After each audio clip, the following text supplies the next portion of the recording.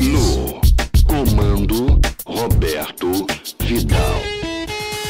93, 93.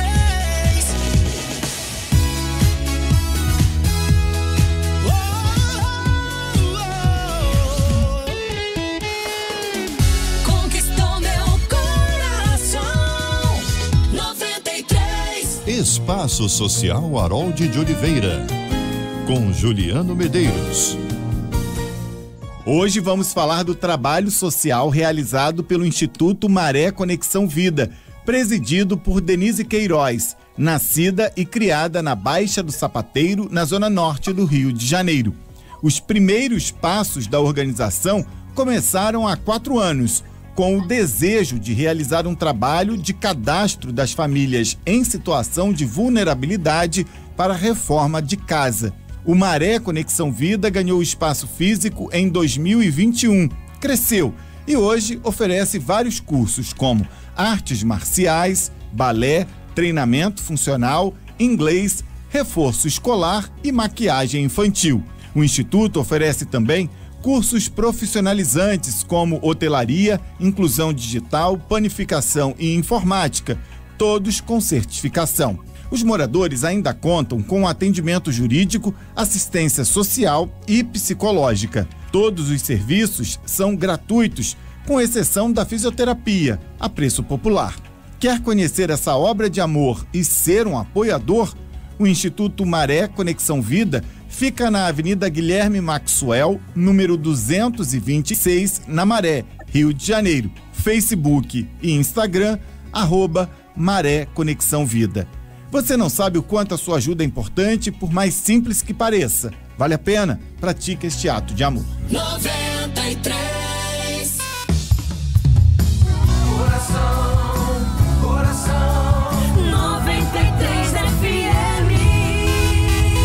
11 horas e 2 minutos no Rio. 93. E aí, minha gente, muito bom dia. Sexta-feira estamos juntos aqui no Debate 93. 93,3. Chama todo mundo e vem pra cá. Vamos fazer juntos um lindo programa de rádio para a glória do nosso Deus. Conquistou meu coração. 93. Está entrando no ar. Debate 93. Realização 93 FM. Um oferecimento Pleno News. Notícias de verdade. Apresentação J.R. Vargas. Alô, meu irmão, alô, minha irmã, aqui fala J.R. Vargas. Estamos de volta, minha gente, começando aqui mais uma super edição do nosso Debate 93 de hoje. Que a bênção do Senhor repouse sobre a sua vida, sua casa, sua família, sobre todos os seus, em nome de Jesus. Bom dia para os nossos queridos debatedores, pastor Valtair Afonso Miranda. Muito bom dia, seja bem-vindo ao Debate 93 de hoje, pastor.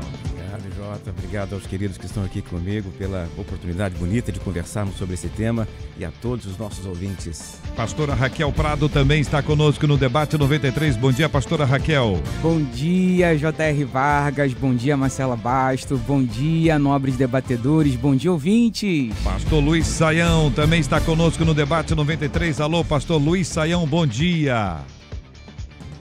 Bom dia, JR. Bom dia aos queridos debatedores. Um abraço para todo mundo. Já já vamos entrar em sintonia com a Páscoa. É isso aí, meu querido pastor Samuel Câmara também está conosco aqui nos estúdios da 93. Muito bom dia, pastor. Seja bem-vindo à 93 FM. Bom dia, paz do Senhor para todos e abençoada Páscoa. Aqui estamos. Benção, muito bem, minha gente. O Debate 93 já está no ar. Estamos em 93,3 no FM no Rio de Janeiro, transmitindo ao vivo. Estamos também com você no Facebook da 93. Está no Face? Rádio 93.3 FM. Estamos no Facebook da 93 FM.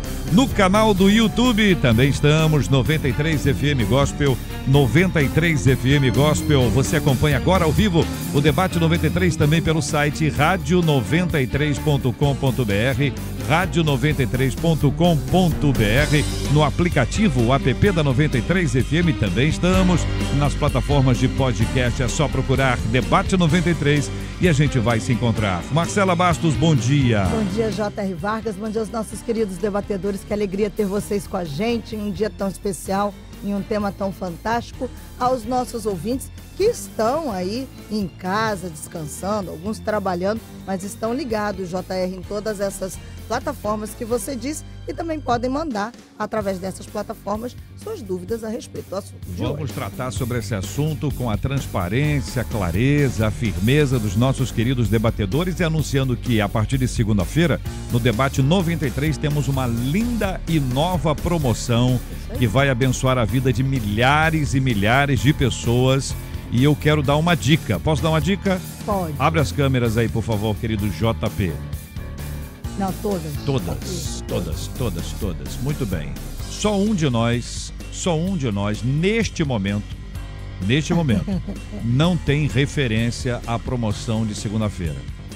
Só um de nós, neste momento, nesta imagem que está na nossa tela, só um de nós não tem nada a ver com a promoção de segunda-feira. Ou exatamente o contrário. Somente um de nós poderá querer participar efetivamente desta promoção. Será, hein? Quem está acompanhando a gente pela internet, tem uma dica, participa aí do nosso da nossa promoção aí que vai começar na segunda-feira, mas se você já, já entendeu, se você captou a mensagem, participe conosco aqui pelo Face, pelo YouTube, pelo nosso WhatsApp, que também está disponível para você ligar, participar, fazer as suas perguntas, 2196 803 8319, 2196 803 8319. Conquistou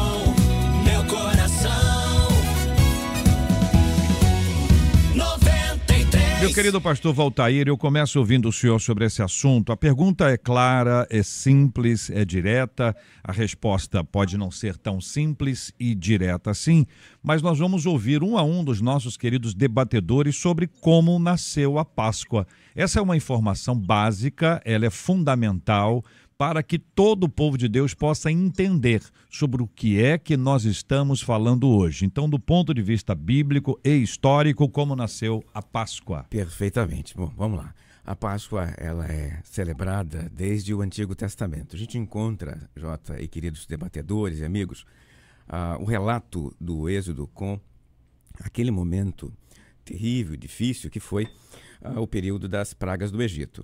Durante as pragas, o povo de Israel estava protegido ali na terra de Cozin. A última praga foi a, a morte dos primogênitos. E naquele contexto ali, Deus deu a libertação da morte. Por quê? Porque o, o anjo destruidor iria matar os primogênitos de toda a família. Mas ele não entrou na casa do povo de Deus, não entrou na casa de Israel. Por quê? Porque Deus havia orientado que devia se matar um cardeiro, cordeiro, e esse cordeiro, ah, por meio do seu sangue, iria impedir ah, com que o anjo destruidor entrasse naquela casa. Então o anjo não entrou naquela casa, o anjo passou sobre aquela casa. Então esta expressão passou sobre deu origem aí a esta celebração. Entenda aqui nesse caso que a Páscoa comemorada pelos judeus depois disso, ela é uma memória.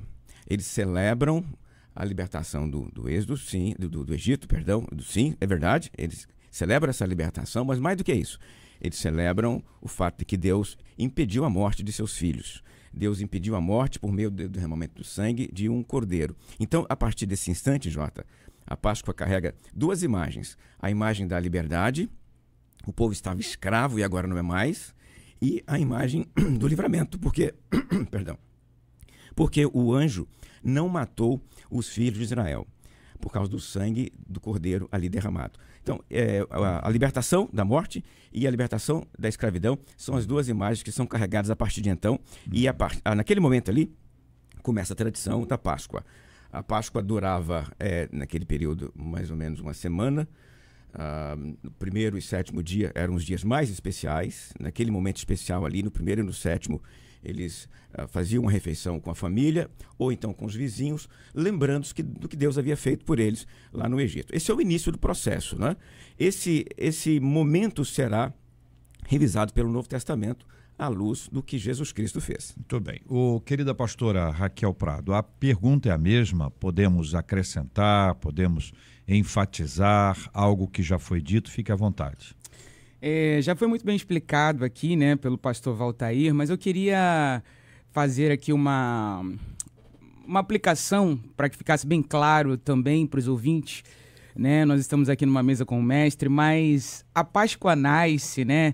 Ela nasce como a gente já aprende, né? A gente já sabe. É, é, ela, ela nasce como, como a gente aprende, como uma mulher que está para dar à luz com dores, né? Algo maravilhoso acontece é, através do sofrimento. Quando um novo rei de Faraó, né?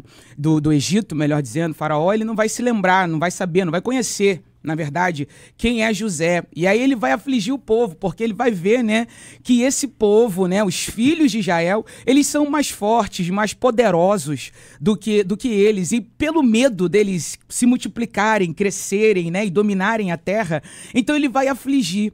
E através desse sofrimento, dessa escravidão, como já foi bem colocada aqui, explicada pelo pastor Valtair, vai nascer aí a Páscoa. Por quê? Porque é através dessa perseguição, dessa aflição, que Javé, o Senhor, o nosso Deus, ele vai dar uma ordenança ao libertador para promover ali né, o, o, o, a, a, a porta de abertura para o escape, né, para a salvação.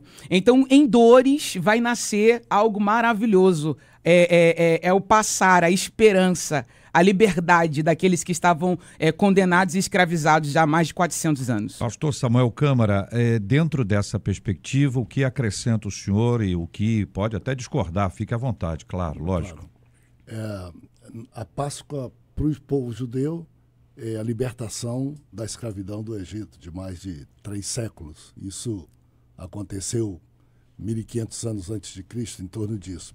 A Páscoa para o cristão é a morte e a ressurreição de Jesus, que ocorreu na semana em que os judeus celebravam a Páscoa histórica deles. E aí nós temos a semelhança, tanto pela data, porque foi a mesma semana, quanto pelo processo, porque a libertação se deu em seguida à morte de um cordeiro, chamado cordeiro uh, para os povo judeu, uh, seguida a ordem de Jesus, que aspergisse o sangue para que a morte não entrasse ali. E o Cordeiro de Deus que tira o pecado do mundo também morreu. Por seu sangue nós somos libertos eternamente. Querido pastor Saião, dentro dessa perspectiva, o versículo 11 do capítulo 12 de Êxodo, eu vou ler aqui, vou pedir que o senhor nos ajudar a entender um pouquinho sobre esse assunto, esclarecendo para os nossos ouvintes. Capítulo 12 de Êxodo, versículo 11: Desta maneira o comereis. E aí faz uma descrição: lombos cingidos, sandálias nos pés e cajado na mão. Comê-lo-eis à pressa, é a Páscoa do Senhor. Essa descrição que nos permite imaginar a cena, né? a, a, a postura, o, o momento, o que, que isso significa? Qual a aplicação que o senhor traz, ainda dentro de Êxodo 12 mesmo? Bom, JR, queridos debatedores e ouvintes, a, a Páscoa, a Páscoa é, é o triunfo inusitado daquilo que é imponderável. Tudo que você imagina que não é possível, a Páscoa vai redesenhar. De tal maneira, por exemplo, que a história bíblica começa num mundo uh, altamente patriarcal, né? com três mulheres ali no salvamento de Moisés. E aí você tem, na verdade, um conflito de deuses, né? um conflito que ganha paralelo na Páscoa com Jesus e os discípulos, porque o Egito é análogo a Roma, e toda aquela opressão e maldade ela a, a, entra em contraste com Deus Salvador e, e, libertador. Então, diante desse cenário, algumas coisas muito interessantes surgem aí. Primeiro, contra a nossa maneira ocidental e moderna de pensar, e eu, por exemplo, Valtair e os outros que mexem com teologia, né, a gente sempre acha que transmitir conceitos abstratos vai resolver a vida de muita gente. A Páscoa sugere que é comendo que a gente transmite conceitos. Então, existe uma espécie de dramatização da realidade que reflete a prontidão em ouvir a Deus. Por isso esse negócio, né, esse verbo hebraico lemacher, que dá a ideia de fazer tudo apressado para se preparar, quer dizer, você tem que estar tá totalmente pronto, porque as evidências à sua volta, o poderio egípcio, não significa nada. O que significa ouvir a voz do indivíduo que faliu na vida, ficou um tempo no deserto, desistiu de tudo, voltou, se apresentou como líder e você vai crer nessa palavra absolutamente promissora em função de evidências muito limitadas e comendo em casa e preparando a mala para pegar o caminho. A Páscoa é show de bola. O JR é absolutamente incrível. Muito bem, a gente está aqui, é, pastora Raquel, entendendo que o grande, a grande mensagem da Páscoa é se entender o que estava acontecendo a mesa ajuda no processo, a, as, as descrições que são apresentadas permitem que haja uma maior absorção daquilo. Quando a gente pensa na Páscoa hoje, né? Entramos na Páscoa do tempo bíblico, lá de Êxodo 12, e eu amplio aqui, pastor Valtaí, pastor Samuel, pastor Saião, o que é que os judeus comemoram na Páscoa hoje? Hoje. Eles comemoram o quê?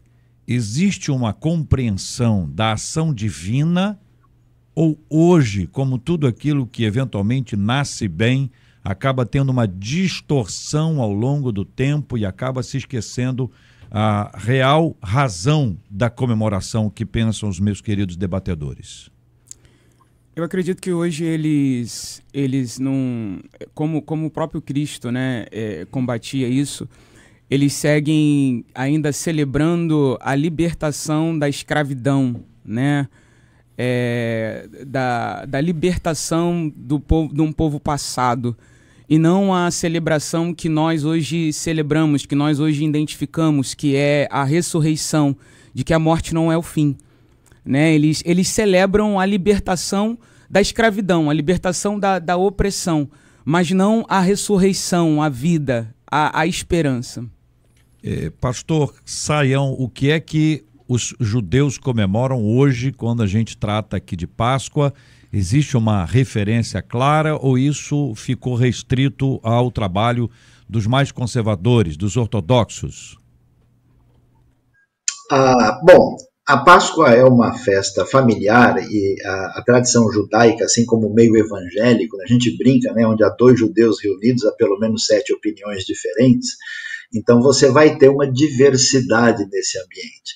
Mas, assim, uh, talvez um, um, elemento a mais que para a gente não está claro, porque a gente olha né, com, com um olhar assim meio distanciado, a Páscoa marca a, a definição da identidade do povo. Né? Eles vão cantar Avadim Raino, nós éramos escravos, e, e, não é somente a questão da libertação, mas é o fato de Deus ter escolhido Israel como tesouro, como um, uma proposta ah, de ser luz para as nações, conforme Êxodo 19, verso 4 e 5.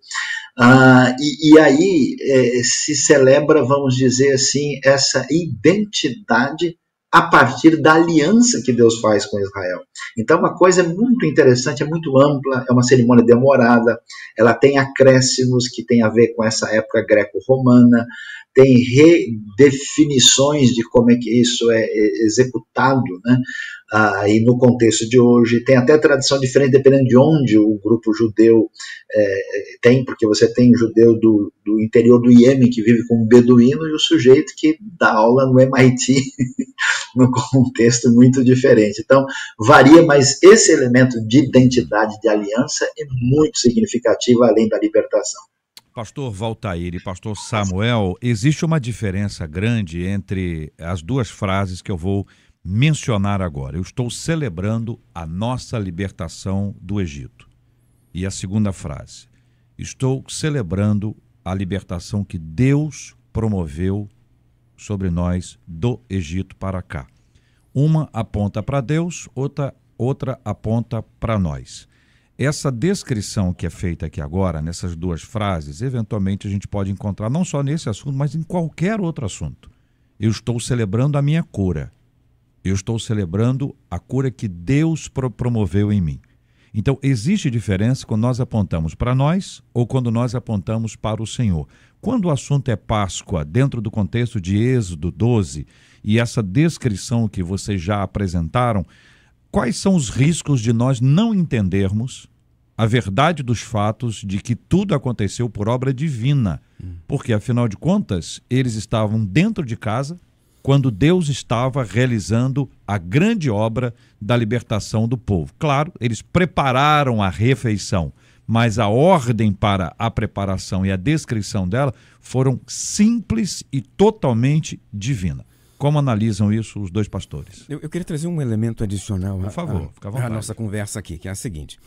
Ah, nós, nós precisamos separar um pouco ah, o judeu enquanto eh, grupo étnico e o judeu enquanto opção, enquanto religioso, enquanto indivíduo que cultua e celebra a Deus. Isso existe no cristianismo, existe no judaísmo, em qualquer outra eh, expressão religiosa. Para ilustrar, eu queria usar o cristianismo. Nós temos aqui no Brasil, um país cristianizado de ponta a ponta, quase 98% se dizem cristãos no Brasil, algumas festas religiosas. Mas nem todos são ah, religiosos. Então, numa festa religiosa lá de nossa igreja, ah, nós temos aquele indivíduo que está realmente celebrando a Deus, o que ele fez, por exemplo, o Natal, o nascimento de Jesus. Mas eu tenho também aquele que vai na minha igreja no Natal para ver para ver cantata, para ver a peça de Natal, para ver ah, o filhinho dele lá aparecendo vestidinho de anjo. Nós temos então algumas figuras que participam destas festas religiosas, JR, mas não estão envolvidos nela, porque eles não têm relacionamento com Deus. Então é um indivíduo que segue uma tradição. Dá para aplicar isso também ao judaísmo. Nós temos, dentre os judeus, aqueles que são ah, ah, seguidores ah, do judaísmo, aqueles que são, nós chamamos aí de um judaísmo ortodoxo, mas aqueles que seguem realmente o judaísmo, aqueles que, que querem se relacionar com Deus por meio do judaísmo. Esse é o, o judeu. E tem aquele que é, é judeu ah, por etnia, né? ele, ele é um judeu étnico, então ele, ele participa destas festas por ser do seu país, por ser da sua história, ah, como os nossos calendários religiosos aqui no Brasil. Mas isso não tem relação direta com sua vida religiosa, com sua vivência espiritual, tá? Não tem elemento espiritual nenhum nessa prática É dele. cultura. Ele vai participar daquela mesa ali e comer com os seus e cantar as canções religiosas como elemento de cultura e como elemento, que, como o próprio Sayão já disse, como elemento de de identidade nacional. Para dizer, nós somos isso aqui. Agora, ele não está olhando para cima e, e- e pensando no que Deus fez Não por ele. está não tá se referindo à ação divina. Só Não está é. celebrando como foi ontem, como foi anteontem, como foi semana A passada. cada ano se celebra, a cada ano. A cada ano tem aquele período de festas. Então ele usa aquele período de festa para se aproximar da família, para se alegrar com os seus, mas não tem elemento espiritual nessa atividade festiva. Tradição cultural e não espiritual. Exatamente. E o senhor, pastor Samuel? É, é, a soberania de Deus é algo muito interessante, mas aí depende do grau de profundidade que você queira ver as coisas. né? A minha impressão é que hoje a Páscoa é mais uma questão de uma data nacional para o povo judeu. A libertação de 430 anos de escravidão do Egito. Nós cristãos até desconhecemos as outras datas importantes do povo judeu como nação, e para nós ali nasceu, ali aconteceu a identidade deles. Ah, eles celebram com elementos religiosos, não é? Alguns vão além para reconhecer a soberania divina. E os outros, principalmente novas gerações, isso acontece conosco, veem somente o fato como fato, fato histórico. Para eles é isso. É muito bom a gente imaginar que tudo quanto ocorre com a gente procede de Deus, pela sua permissão e pela sua vontade. Isso nos leva a adorá-lo e glorificá-lo mais em qualquer coisa, não é? Tiago, na, em termos práticos, diz: há uns que dizem, vou fazer isso e vou fazer aquilo e, e não pensam nem se vão viver. E, e Tiago recomendou e outros pensam: se Deus quiser, não só viveremos. Como Deus quis, fomos libertos do, da escravidão do Egito. Outros dirão: fomos libertos porque chegou o tempo, Moisés apareceu e pronto. São 11 horas e 24 minutos, estamos ao vivo aqui na 93 FM, nessa sexta-feira, 29 de março de 2024. Qual a relação, querido Saião, entre a Páscoa e a ceia do Senhor? Existe relação? Você entende que existem alguns elementos que podem ser conectados? E como avalia o querido pastor a relação entre Páscoa e ceia? Pois é, JR, uh, queridos debatedores, uh, a ceia nasce da Páscoa. Né? Às vezes a gente eh, tende a olhar a Bíblia com uma perspectiva meio fragmentadora da conexão que existe entre as partes. Né? A, a, a ceia é o telhado sem o qual a gente não pode construir nada sem parede base. Então, a ceia só faz sentido por causa do Pesach, aliás, Jesus, né? Aquilo que acontece em Jesus está muito sempre ligado às festas, né? Até mesmo o Pentecoste e a vinda do Espírito Santo. A teologia presente, ela está totalmente enraizada no Primeiro Testamento. Então, é interessante, porque como a Páscoa ela passa por caminhos eh, diferentes, aliás, o pessoal nem faz ideia, por exemplo, judeus que creem em Jesus hoje, como na Páscoa judaica existem elementos que apontam para Jesus, do jeito que ela é comemorada hoje, eles usam isso como uma maneira de apresentar o Messias em muitos cenários, porque há coisas dentro dos rituais judaicos hoje que são altamente indicadoras de Jesus e que as pessoas geralmente desconhecem. Então, o que acontece? Jesus está comemorando o Pêssar com os discípulos. Curiosamente, não tem o cordeiro, né, que alguém diz, não, isso não tem porque Jerusalém está cheia, não dá, ou porque nem todo mundo usa, a coisa é diferente, ou então aqueles que olham mais teologicamente, não, não tem o cordeiro porque o cordeiro é Jesus, né?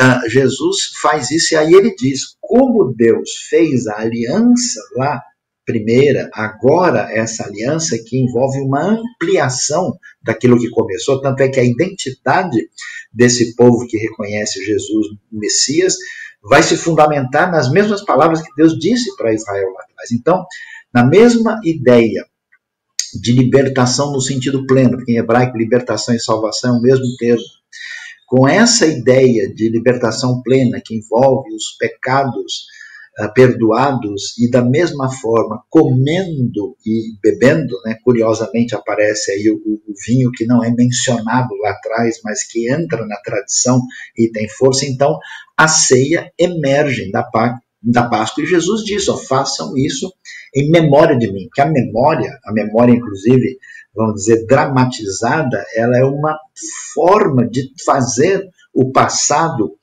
presente de maneira intensa no caminho da construção do futuro. Por isso que a, a ceia tem esse negócio da gente lembrar do passado ao mesmo tempo que se anuncia a vinda do Senhor. Né? Então, até que ele venha, então, assim, a suspensão do tempo em função da invasão do infinito. É muito show de bola esse negócio. Pastora Raquel, sua visão sobre esse assunto, querida. É, como já foi muito bem explicado pelo mestre Luiz Saião, né?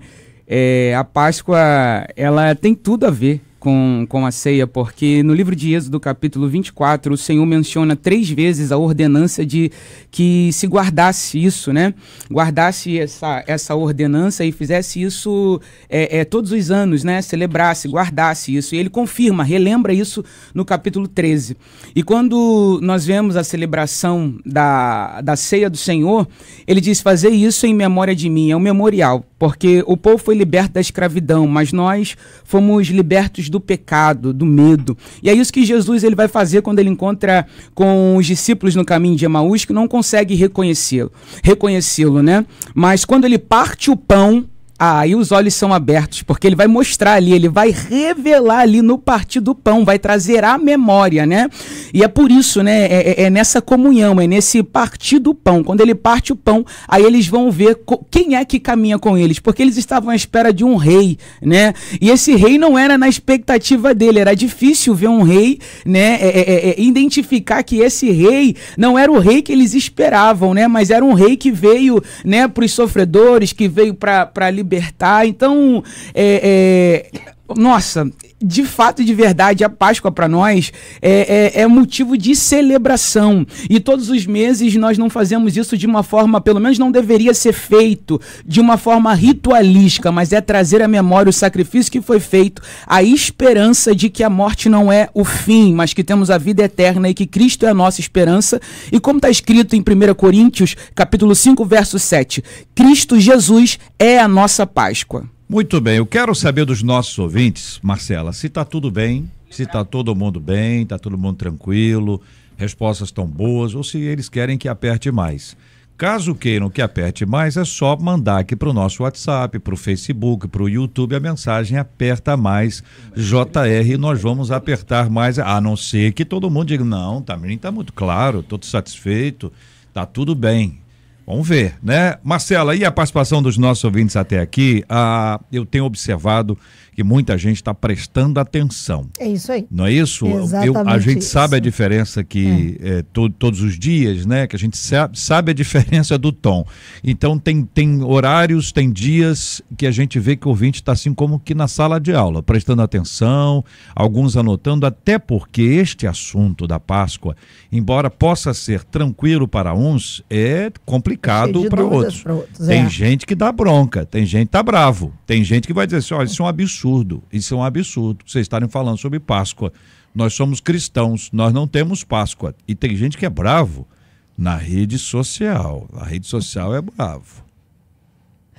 A Jaqueline Menezes, por exemplo, disse: Mas que aula maravilhosa, muito aprendizado hoje, gente. E eu tô anotando mesmo, viu? É, tá Logo embaixo a Márcia Soares disse: Eu também estou anotando tudo. É aquela imagem, o pessoal tá ali do lado do rádio, ou tá de frente ali no celular ou na TV, assistindo no YouTube, para poder anotar tudo que os nossos debatedores estão falando. E claro, querem sim que você aperte. A Catielen, pelo WhatsApp, disse: aperta, JR. O Mário César no YouTube disse: aperta mais. O Hudson, aperta mais, JR. O outro disse: mais e mais. O Elias disse: pode apertar, porque quando apertar, dá caldo. E a Manuzinha, o que que a Manuzinha pensa? Aperta mais, tio JR. Ah, então tá. 93, 93. Gente, vocês sabem que dentro desse assunto há olhares diferentes e não tão equilibrados. Vocês estão muito equilibrados, ajustados, ponderados. Isso é maravilhoso porque é por isso que vocês estão aqui. Porque os que não são equilibrados e nem ponderados não podem participar de uma mesa de debate. Ele participa de um ringue. Ele participa de uma briga. Pessoas desequilibradas não conseguem conversar. Pessoas desequilibradas querem impor as suas opiniões e não estão dispostas a ouvir as opiniões dos outros. Daí, uma, um aspecto que para nós hoje é um tanto quanto complexo é a questão de sermos ah, judaizantes. Então, existem comunidades hoje no Brasil que se tornaram judaizadas. É, é impressionante, desde a bandeira de Israel, Israel, o país, ah, desde a ritos que são marcantes e são característicos do Antigo Testamento, e até a celebração de festas e mais festas. Até um, algu- alguns não, não pronunciam nem escrevem o nome de Deus. Também não chamam Jesus de Jesus. Não estou dizendo quem faz e o que faz, que eu não quero dar ideia para ninguém. Mas eu queria ouvi-los sobre esse assunto e queria pedir a vocês que nos ajudassem. Ah, qual a diferença de sermos uma, uma igreja judaizante ou judaizada para celebrarmos algumas épocas, algumas festas, ou pelo menos para tratarmos os assuntos do Antigo Testamento à luz do Novo? Como é que vocês respondem a isso? Eu posso usar o exemplo do Claro, Paulo. pastor Voltaí. O Paulo. O Paulo, lá em Coríntios, ele vai pegar a, a, a, Páscoa a partir de Jesus. Lá em Coríntios 11, se me permite a leitura aqui, eu vou ler para você, Claro. e para os colegas também que estão nos ouvindo aqui. Porque recebi do Senhor o que também vos entreguei, entreguei, que o Senhor, na noite em que foi traído, tomou o pão e, tendo dado graças, partiu e disse: Isto é o meu corpo, que é dado por vós, fazer isto em memória de mim. Ele vai continuar falando sobre a ceia. O Paulo está escrevendo isso aqui, Jota, em 50, 53 é o ano em que ele escreve esta carta aqui, tá? No ano 53, enquanto ele estava ah, na terceira viagem missionária fazendo missão. Já tinha plantado várias igrejas. Já tinha plantado igrejas por tudo quanto é canto ali na Ásia, na Macedônia, na Acaia. Ah, Paulo já tem um ministério longo e ainda assim ele não tem nenhuma dificuldade em celebrar a, a Páscoa a partir de Jesus. Por quê? Porque aquilo que Jesus fez, ele quer repetir. Jesus, lá naquele ah, dia ah, 14 de Nissan, que é a data judaica, né? ele celebrou com os discípulos a Páscoa. Ah, E, e ele, ele disse isso lá no texto, Mateus 26, narra pra gente isso. Olha, nós vamos celebrar a Páscoa ali, naquele lugar ali, ali com os discípulos, ele celebrou a Páscoa. Então, se Jesus celebrou a Páscoa, se Jesus não viu problema nenhum em celebrar a Páscoa, o Paulo também não vai ver problema em celebrar a Páscoa. E não apenas não vê problema, o Paulo diz que as igrejas devem fazer como Jesus fez. Mas ah, nesse caso, não olhando para a, a Páscoa anterior, a, a- aquela lá do Antigo Testamento, aquela liberdade do Egito. Não. Eles vão olhar para Jesus e para a forma como Jesus re- simbolizou a Páscoa, porque é o que Jesus faz ali, né? Olha, esse, esse aqui é o meu corpo, este aqui é o meu sangue. Vocês vão fazer isso em memória de mim agora. Então, Jesus mandou fazer. E se Jesus mandou fazer, o Paulo diz: vamos fazer.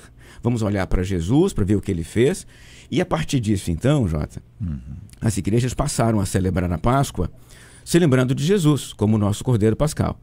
Ah, surgiu um debate, evidentemente, sobre a data da Páscoa. Inicialmente, eles queriam celebrar ao mesmo tempo que os judeus celebravam. O judeu, eu lembro, ele segue um calendário diferente, ah, um calendário lunar, ah, enquanto os romanos segui- seguiam outro calendário. Então, há uma confusão que só vai ser resolvida aí no século IV, V, até o sétimo ainda tem essa confusão sobre que data se celebra, porque alguns queriam celebrar junto com o calendário judaico e outros diziam que não, tinha que ser um outro calendário para separar ah, os dois eventos.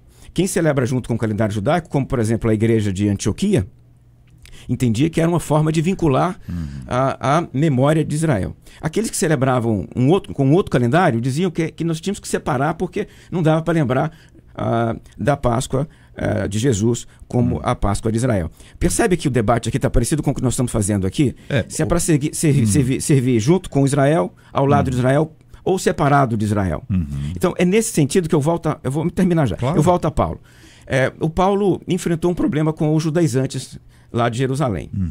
E a grande crise de Paulo é que os judaizantes querem que os discípulos dele, os discípulos que Paulo plantou ali naquela região, sigam as luas, as festas, o calendário judaico e façam a circuncisão. O Paulo vai dizer que estas coisas não são necessariamente um problema, desde que elas não sejam um elemento salvífico. E este é o problema, Jota. Judaizante, então, é quem olha para isso e diz: Eu preciso disso para ser crente. Eu preciso disso para ser cristão. Então, quem entende que precisa disso para ser crente, que precisa disso para ser cristão, é judaizante. Mas quem entende que isso aí é um elemento que ah, é, é simbólico, que nos leva a pensar em Jesus, que é realmente um memorial, que não é canal de graça, é apenas memória de nossa, de nossa relação com Jesus Cristo, nesse caso não tem nada a ver com judaísmo, isso aí não é ah, uma expressão judaizante. Pastor Sam- Samuel, o senhor concorda? Eu concordo que você obedeceu e apertou. É. Mas eu também acho que você tinha que ser gradual, porque eu estava Ah. com vontade de apertar também ao nosso ouvinte. Uhum. E claro, essa qualidade dos abatedores aqui. Nós não podíamos deixar de tocar nesse ponto Uhum. e, admirar o equilíbrio de Jesus. né? Porque realmente a, a igreja cristã hoje está com essa tendência de celebrar todas, as- até as festas judaicas, como obrigação. Ao mesmo tempo que uns, inclusive, combatem festas tipicamente cristãs pela forma de exploração mercantil dela. Então diz, não, Natal, não. De jeito nenhum. Páscoa, sim. Tabernáculo, sim.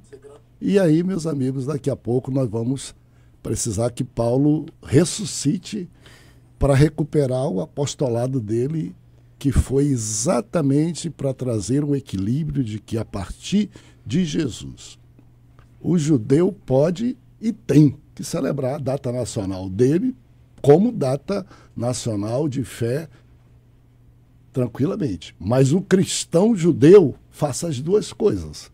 A Páscoa dele como data nacional, mas Jesus como Salvador e Cordeiro Pascal. E aí nós temos de novo o problema que a maioria dos judeus pararam no tempo e na história e rejeitam o Messias, o verdadeiro Cordeiro Pascal. Rejeitam o plano divino profetizado e rejeitaram Jesus como Cordeiro Pascal. Não é possível que nós, cristãos, que carregamos o nome de cristão, neguemos estas coisas. E Jesus foi cirúrgico, né? Que Jesus disse: Fazei isto em memória de mim. E Jesus disse, e Paulo vem e diz assim: quem faz isso sem discernir? Discernir o que quer dizer? Discernir é procurar entender que a ceia do Senhor, segundo a tua pesquisa, é memória de Jesus e não da Páscoa judaica. Uhum.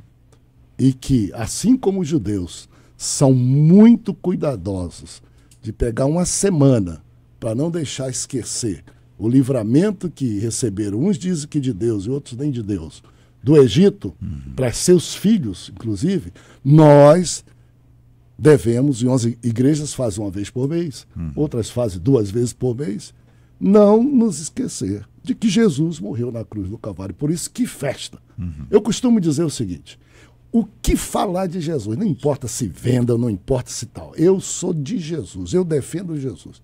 E se eu vou bater na porta de uma pessoa para falar de Jesus, quando ela está dormindo, evangelizar, por que, que eu vou me recuar?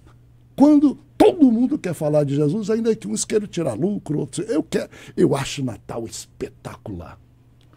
Qualquer que Eu sou da região norte. Uhum. E discutir esse negócio de data. Qual é a data do Natal?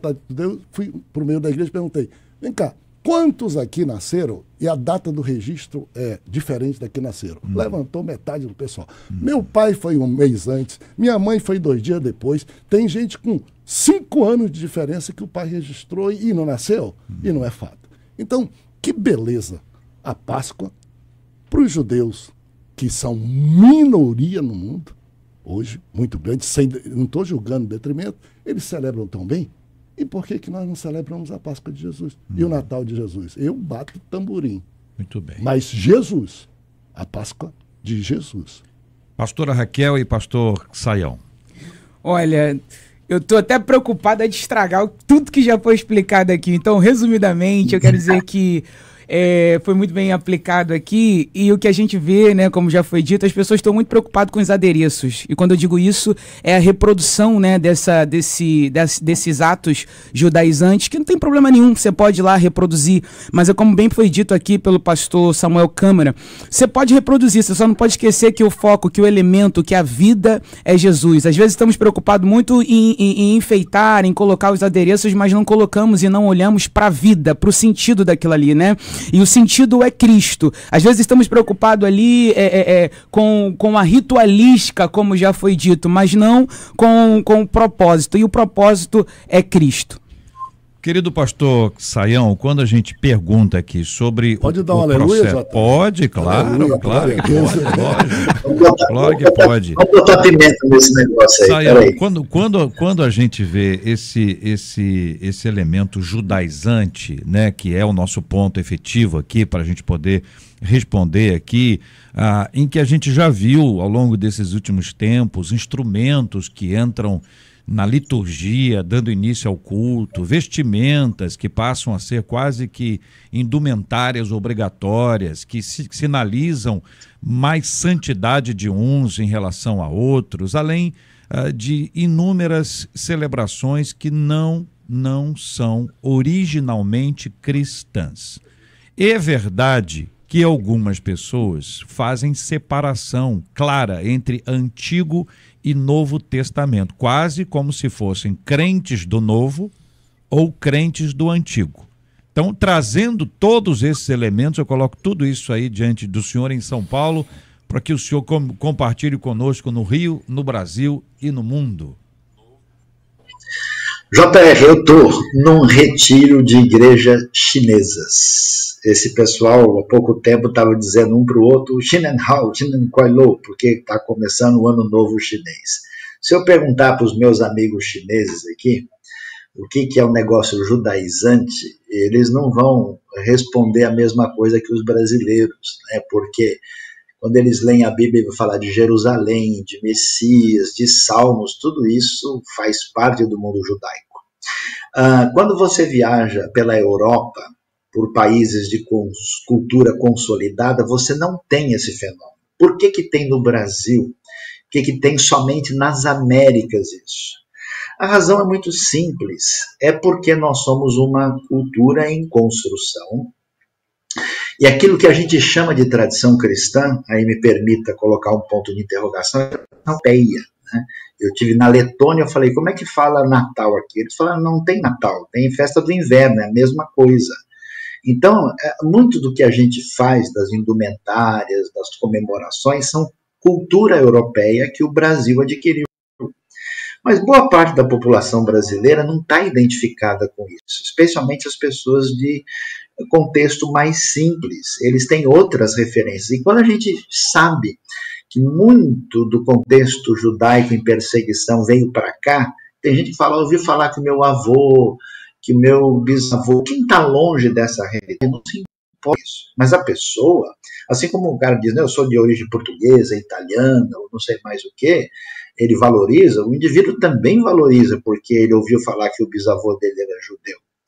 Então, como o Brasil é uma cultura em construção, e a criatividade aqui não falta, as pessoas começam a buscar referências do sagrado muito além da cultura europeia. E até porque isso muitas vezes tem mais conexão com o nosso jeito popular de ser. Existe algum problema nisso? Na minha opinião, em si, não. A questão é como isso pode se tornar um problema do ponto de vista teológico e doutrinário. Uh, o, o professor Valtair falou com muita propriedade, veja como é que Paulo faz. Paulo diz para os Gálatas, pessoal, circuncisão de jeito nenhum. Que isso? Não podem fazer um negócio, vocês não estão entendendo nada. Mas ele pega o Timóteo e fala: faça favor de se circuncidar já. Porque você é filho de judia e você vai estar testemunhando na sua comunidade, como assim você não faz circuncisão?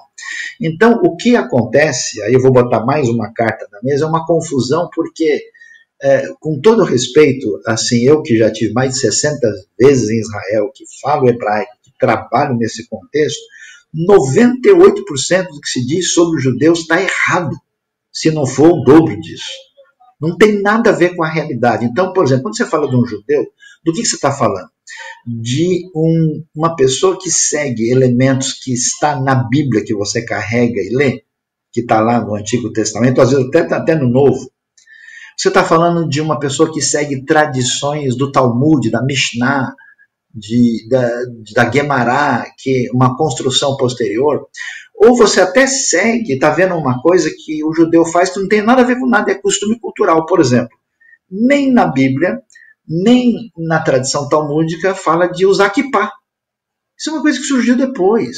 Então o indivíduo brasileiro das Américas, querendo assim fazer um negócio diferente, implementar sua criatividade no nível mais elevado, falou: "Uau, Gostei daquele manto lá.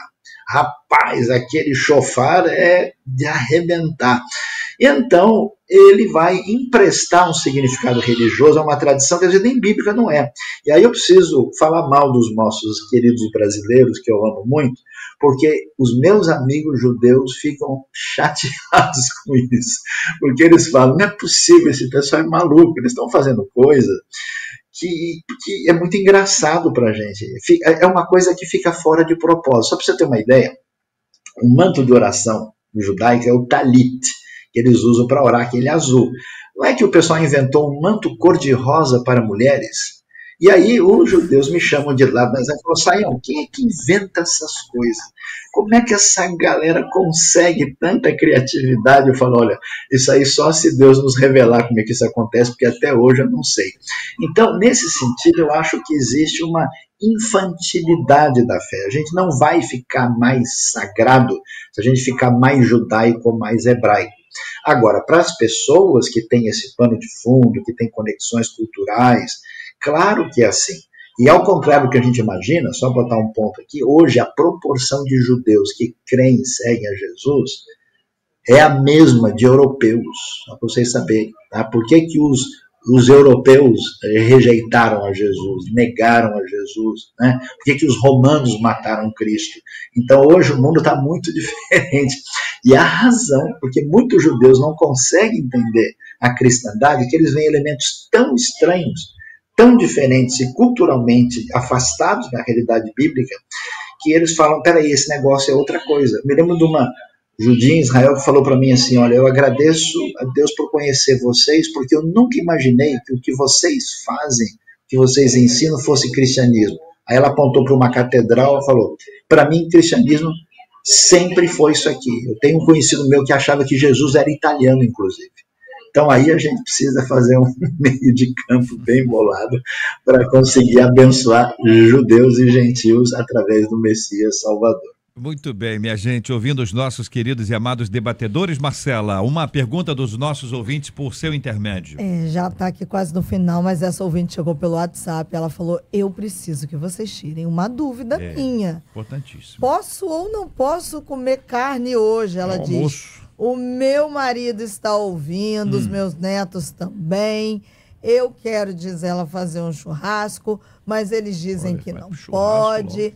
Falaram que só pode comer É. peixe. E a minha pergunta é: posso ou não posso? Ela, ela ouvinte. falou que vai pro churrasco logo. Ela vai Ela logo ir pro churrasco. churrasco. Muito bem. Pastor Valtair, com esse olhar doce, sereno e tranquilo, responda à faminta ouvinte.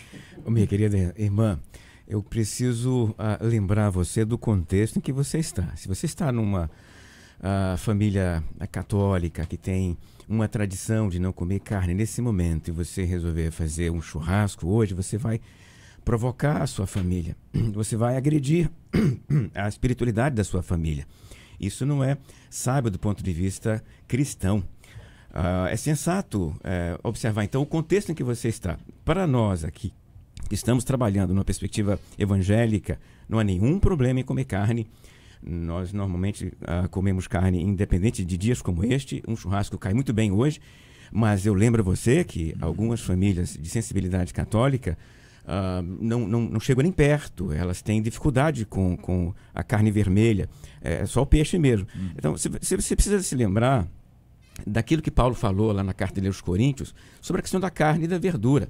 Ele disse: Por amor ao meu irmão, eu não vou comer carne por causa da consciência do meu irmão. Eu, eu queria pedir a você, então, sensibilidade nisso. Não usa o dia de hoje para agredir ninguém.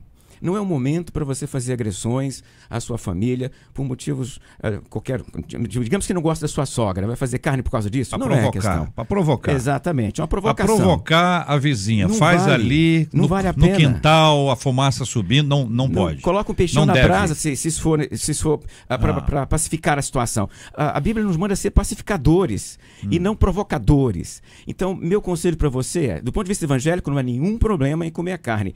Mas por causa do meu irmão, eu como verdura num dia de, de- de- de churrasco, se for necessário. Por amor. Por amor. Por respeito. Por respeito. Carinho. Carinho. Provocação não. Não. Muito bem. Já tem gente que vai fazer de provocação. Não vai ter, não. Vai botar um churrascão no quintal. Vai não, pastor Raquel? Vai, não, não, vai, não. A vai. pastora Raquel também não. Não acredito. Pastor Raquel quer dizer que. Né, pastora? Porque às vezes a pessoa tem essa dúvida, pode parecer uma coisa Isso é questão de simples, sabedoria, Mas né? é uma questão do dia a dia. É. É o que o pastor Valtair falou aqui, é, é questão de sabedoria. E às vezes nós não vamos ganhar os nossos familiares com, com, com palavras, mas com, com atitudes, com gestos. Foi bem dito aqui, né? Eu quero dizer a vocês, queridos e amados ouvintes, que a síntese de tudo é em memória de mim. Esta é a frase que Cristo nos deixa, ah, que é replicada nas Escrituras, que a gente precisa entender a centralidade da nossa vida. Assim como alguns são capazes de afirmar que foram curados, mas não atribuem a Deus. Estão vivendo uma nova vida, mas atribuem a si mesmos. É possível que alguém passe esse período inteiro sem se lembrar daquele que é a razão da nossa vida. Não é a razão da nossa festa só, não. É a razão da nossa vida. Como muda a nossa perspectiva à medida que a gente encontra e concentra a centralidade em Cristo. Somos cristocêntricos, Cristo no centro. Em memória dele, nós estamos aqui. Este é o Debate 93, com J.R. Vargas. Olha, gente, tem uma outra querida ouvinte dizendo o seguinte: olha, JR, eu gosto muito de ler livros de autoajuda, sabe? Mas uma pessoa da igreja, ela me disse que crente não lê esse tipo de livro, não. É errado ler livros de autoajuda. Ler pode prejudicar a minha dependência de Deus e me levar a confiar mais em mim mesma? Pergunta a nossa ouvinte. Como posso encontrar o equilíbrio em saber quem eu sou, o que eu posso fazer, quem é Deus e o que só Deus pode fazer? É o que pergunta uma de nossas queridas ouvintes. Esses e outros assuntos estarão nesta segunda-feira, se Deus quiser, a partir das 11 horas da manhã, em mais uma super edição do nosso Debate 93. Muito obrigado aos nossos queridos debatedores, Pastor Valtair Afonso Miranda. Muito obrigado, meu irmão. Agradeço o convite. É muito bom estar com esses amigos aqui à mesa. Muito bom mesmo. Queria mandar um abraço para minha querida Elisete, que está aqui comigo, já está aqui a minha Muito esposa bem, amada aqui. bem. Minha Mara está comigo me acompanhando hoje. Meus filhos lá em Campos Goitacazes. Opa, logo ali, muito bem. Pastora Raquel Prado, muito obrigado. Eu que agradeço por participar desse debate tão, tão nobre, né? Com, com, com os mestres tão nobres. Quero louvar a Deus por essa oportunidade. Também quero deixar um abraço para minha irmã e para minha amiga que está lá na minha casa, meus sobrinhos, Bernardo e Henrique. Deus abençoe. Pastor Luiz Saião, querido, muito obrigado. Dê um abraço aí nos nossos irmãos chineses. Sim, um grande prazer, obrigado JR, um abraço a todos e também vai o nosso convite. Eu estou aqui no interior de São Paulo, mas domingo estamos lá na nossa Igreja Batista Nações Unidas celebrando a ressurreição, a vitória de Cristo Jesus, uma Páscoa abençoada para todos. Pastor Samuel Câmara, muito obrigado pela presença do senhor aqui hoje entre nós. Obrigado pelo convite. Quero só aproveitar para abraçar todos os nossos debatedores e aos ouvintes, parabenizar a emissora uh, e deixar um convite, um convite muito antecipado. Eu estou aqui no Rio de Janeiro, enviado pela Assembleia de Deus em Belém do Pará, Igreja Mãe dessa Assembleia de Deus, por 100 dias para ajudar a preparar o centenário da Assembleia de Deus no Rio de Janeiro e a construção da Catedral da Assembleia de Deus no Caminho Niemeyer. Que maravilha. E quero pedir oração de todos. E desses 100 dias eu vou abraçar muitos cariocas. Muito obrigado. Bem-vindo sempre boa. aqui entre nós, tá, Obrigado. pastor? Bem-vindo sempre. Muito obrigado, Marcela Bastos. Só uma fala da nossa ouvinte do churrasco, ela É? Hum. disse assim: Eu sou cristão, meu esposo não. O churrasco seria na minha casa, Certo. mas muito obrigada pela resposta, por amor e carinho. Eu vou ficar no peixe, Vol- disse ela pelo Voltou WhatsApp. a picanha para a geladeira. A picanha triste. A picanha. Ah, imagina os filhos, que alegria. Ah, que bom, mamãe. Vai comer peixe hoje, que maravilha. Muito bem, muito obrigado a vocês que nos acompanharam até aqui. Que Deus abençoe a todos. Bom final de semana para cada um de vocês. E na segunda-feira, se Deus quiser, aqui estaremos e vamos começar uma promoção nova na segunda-feira. Eu quero olhar para a câmera aqui outra vez. Os nossos debatedores estão aqui. Vou repetir o que eu disse, hein? Marcela, alguém acertou? Ninguém acertou? Teve um que acertou. É, mais não vão falar um nada, não. que acertou, Ah. que ele teve cola, que ele estava com a gente naquela, aquele Ah, encontro de ouvintes. não- então eu olhei ah, pra não Pitica e falei, é Pitica, ela, Marcelo, não, ele tava aqui com a Não, gente então não naquela promoção. Só um acertou. Só um acertou. Assim é Só que eu tá gosto. longe. Tem que ser difícil mesmo, que se for fácil não tem graça. Mas na segunda-feira nós vamos contar de forma aberta aqui para que todo mundo participe. É uma linda e nova promoção do debate 93 para agradecer aos nossos ouvintes por essa incrível audiência. Muito obrigado. Um abraço também para o Wilson Ramos, nosso querido ouvinte que nos acompanha diariamente há muitos anos e que escreveu a sua obra Está na Bíblia ou é dito popular? Eu quero agradecer ao querido Wilson Ramos, que quando quiser poderá estar aqui visitando os estúdios da 93. Muito obrigado, Wilson. Que Deus abençoe grandemente a sua vida. Na segunda estaremos de volta, se Deus quiser. 93. Vamos orar juntos, né, minha gente? Pastor Valtair, por favor, ore conosco. Eu gostaria de pedir que o senhor orasse aqui pelo centenário da Assembleia de Deus, pedido feito pelo pastor Samuel Câmara aqui no nosso estúdio. A, a construção da catedral no caminho Niemeyer, na nossa querida Niterói, que o senhor conhece tão bem. Vamos orar também pela cura dos enfermos e por consolo aos corações enlutados, em nome de Jesus. Senhor Deus, nós estamos gratos por esse momento tão precioso. Nos reunimos aqui para pensar sobre as coisas do Senhor, sobre a Escritura Sagrada, sobre a vida cristã, sobre a ação do Senhor sobre nossas vidas. E aproveitamos aqui juntos, Senhor Deus, irmanados, para agradecer pela vida do pastor Samuel Câmara, pelo seu trabalho aqui entre nós, lá em Belém, aqui no Rio de Janeiro, pela presença dos nossos irmãos da Assembleia de Deus, Senhor Deus, há 100 anos, fazendo a obra do Senhor, ministrando, testemunhando, evangelizando e promovendo o reino do Senhor aqui entre nós. Clamo ao Senhor por esta obra ali no caminho Niemeyer, que seja um testemunho, ó Deus, da graça e da misericórdia do Senhor, que todos aqueles que passarem naquele caminho possam olhar para aquele espaço, para aquela construção e se lembrarem do Senhor e da graça, da misericórdia do amor do Senhor sobre nós. Nós pedimos também pelos enfermos, que o Senhor os alcance, os enlutados, os entristecidos, aqueles que estão no hospital neste momento. Pedimos por aqueles que estão aprisionados. Ó Senhor Deus, os alcance nesse instante, por meio do Espírito Santo do Senhor. Em nome de Jesus. Amém. Que Deus te abençoe. Você acabou de ouvir Debate 93.